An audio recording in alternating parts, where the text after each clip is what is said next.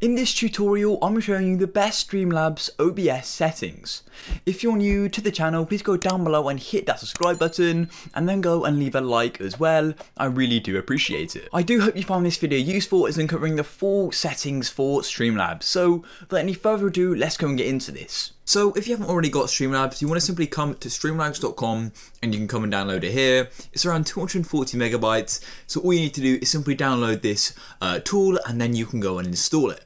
Once you have done that, we can now go and get into optimizing the best settings for Streamlabs. So we can close off this and let's go and open up Streamlabs. Here we go.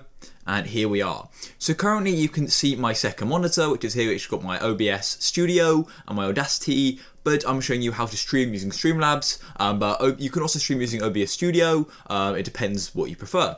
Anyways, let's go and get into this. So currently I have got a scene here. If you want to make a new scene, all you want to do is click this plus button and you can go and create a new scene and you can go and add sources by clicking this plus button. Um, I could go and add my uh, display again and click add source and uh, then I can go and add it like that. But now let's go and get into the settings. So all you want to do is come to the bottom left and click on this cog, and then it's going to go and bring up the settings. So currently we're in the general section. Now most of these are going to be up to you, so you can sort of have them however you like. You want to come down to stream. So stream is where you can be entering your Twitch key or wherever you're streaming. So you can change your service to YouTube and you can go and enter your stream key for YouTube. Um, so that's up to you. But now let's get into the main settings, which is under output. So you want to come to output and click on streaming and make sure it's on advanced, not simple, click advanced.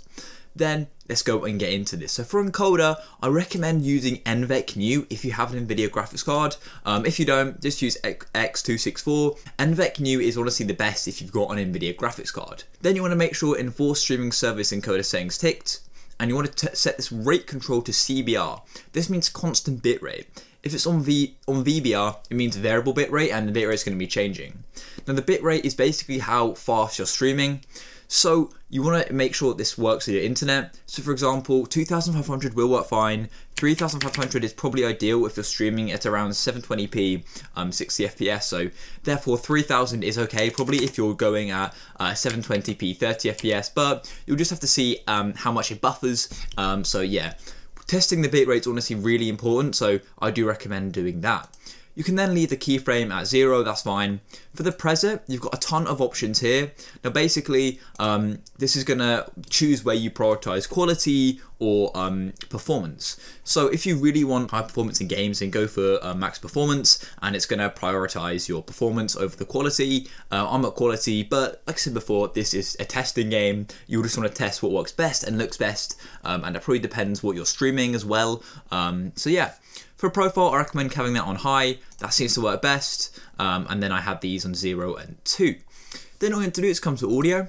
And as you can see here, you can go and choose your mic. So you want to come down to mic or auxiliary device and I can select my mic here. Um, so I'm going to go for this one here. And then it's going to go and show you your sound here. Uh, and you can go and choose your desktop audio as well. Um, so I'd go and choose my speakers, which is where my audio is outputted to. Then you want to come down to video.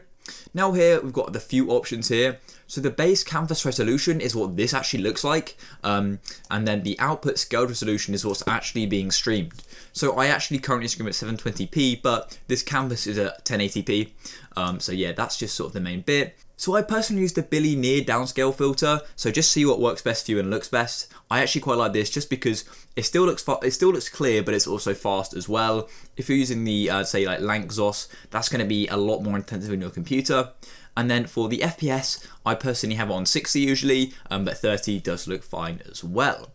And then we've got the hotkeys. Now these are completely up to you. You could set a button to start and stop streaming. So if I wanted, um, say, this bracket to go and start streaming, then that's how you do it. Honestly, really simple. I can go and remove it as well uh, by clicking this button here. And then come down to advanced. Now process priority, I recommend this being on normal. Essentially, you can increase this even more, but you then may see an impact on your game or other things you're doing on your computer because more priority is being put on Streamlabs than your other games being ran.